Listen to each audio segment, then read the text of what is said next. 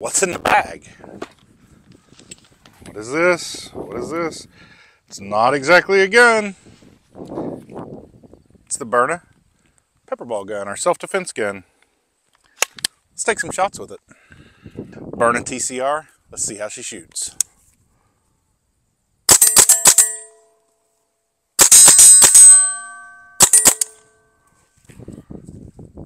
That's actually kind of fun.